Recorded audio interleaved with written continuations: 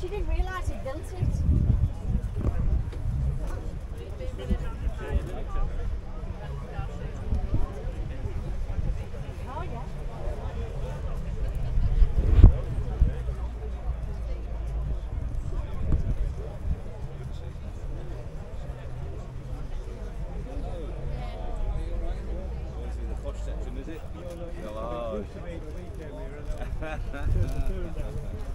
Lovely, yeah, That's grand, the old bus.